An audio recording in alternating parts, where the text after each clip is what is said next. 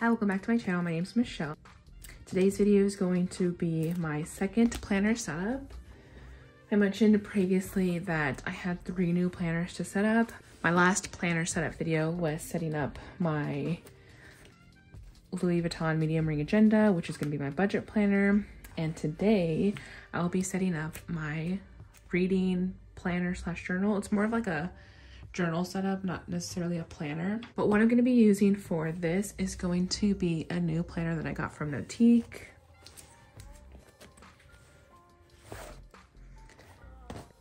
It's this beautiful brown color in the A5 size with gold hardware.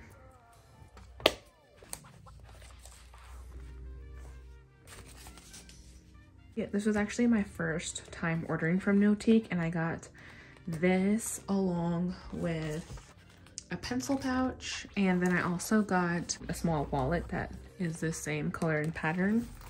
So this is what the inside looks like, has a pencil loop, all these pockets on the back flap, secretarial part pocket, and then these bigger pockets. And then the front has this scalloped pocket, which I really like. And then all of these little ones for some cards. There's the size of the rings there. So this will probably be a short video because it's likely just gonna be really straightforward. I have set up planners before. Obviously I have, like I said, this budget planner that I set up last time. And then I have been using my Louis Vuitton desk agenda as like my everyday catch-all planner for the past like, I don't know, almost like a year now. So So I pretty much know like what I like as far as planner inserts go. This one is a little different just because it's a it's the first time I'm doing like a reading journal slash planner, but let's go ahead and get started. So a lot of all of these came from either cloth and paper or, or infinite lotus. So starting with the dashboard, I got this from cloth and paper. And that's what it looks like. I don't know. I thought this one was like different, kind of cool. I don't really, sometimes I like the dashboards with quotes. Sometimes I just like kind of this abstract image. I don't know. I thought it was cool. So that's what that looks like. It's very smooth. It's really nice texture. I did not get any dividers for this planner just because I didn't really know what I wanted and how I wanted to set it up. I kind of do like a general overview of what I like, but I did get these um, tab sticky notes. So these are really good for acting as dividers. So I might use these just to kind of distinguish section, section by section.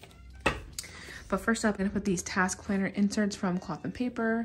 They're really simple, just have the lined, and I like this little section here, which is typically to just like check off the tasks as you go.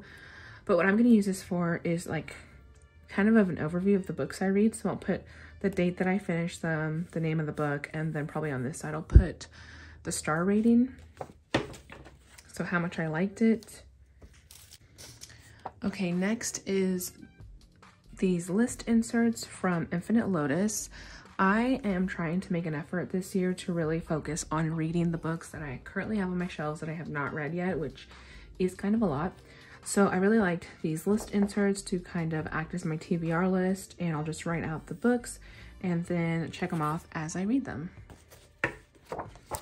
So I'm trying not to buy any books this year and just focus on reading them. So hopefully I will use a lot of these inserts. Okay, next is this, these reading log inserts from cloth and paper. So I really like to keep my reading notes pretty simple.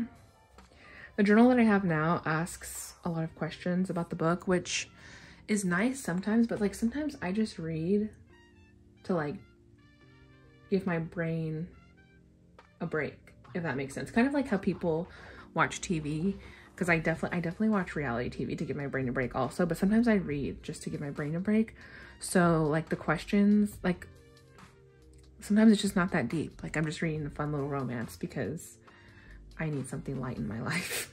I don't know if that makes sense, but so I liked this reading log because it's like really simple. So you just have, you just have the title, author, date, progress, and then you just update it. And then I'm assuming this right here is for like a rating because there's five little dots. If it'll focus. Hello. Yeah, so I'm assuming that's for a rating because there's five little dots there and then title, author, review.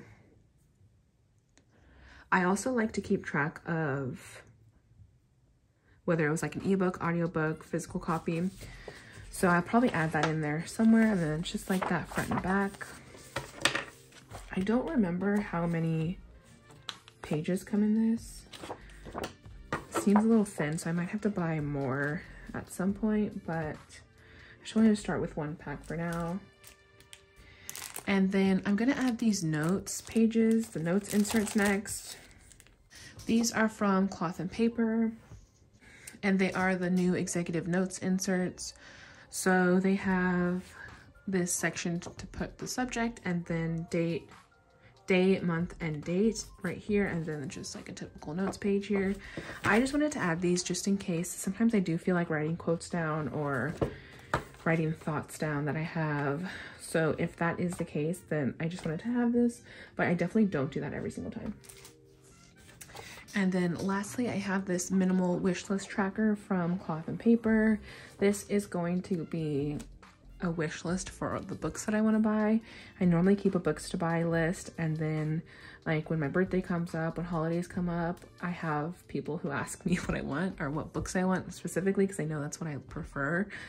And so I like just to have all of that in one location. So it has item, location, price, and then I guess you just check it off when you purchase it.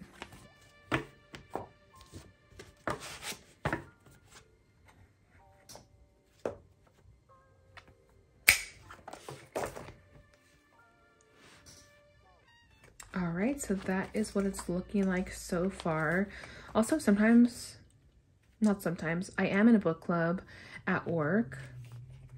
And sometimes I like buddy read with my friends. And if that's the case, I definitely take more notes while I read. So these notes pages will definitely come in handy. I also got some page flags and these little square flags that I don't know what exactly I will use them for. I don't know. I, I, honestly, I just bought them and I knew I, I knew I could use them, but I don't know what I'm gonna use them for. If it'll be specifically for reading or if I'll use it for my work planner, but I'll probably end up putting those in here. I also have some bigger ones from cloth and paper that I have in a different planner somewhere.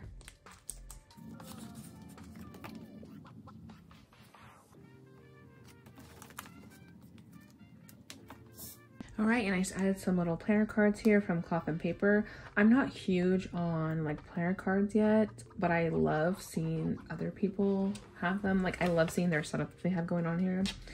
So this is likely to change. But that is it for my reading planner slash journal setup. Um, this planner is so beautiful and it's like Saffiano leather, so it has like a nice little texture, but also kind of smooth has a pen loop, of course. And I just really like the size of this. This is my first A5. So I do have this desk agenda, which is slightly smaller.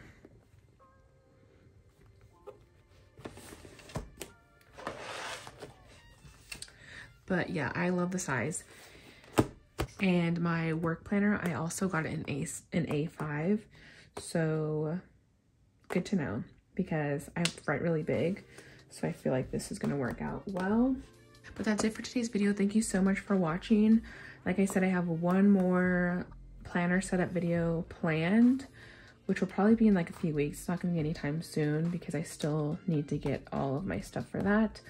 But the next video will be back to my budgeting content. Thank you so much for watching and I'll see you in the next one. Bye.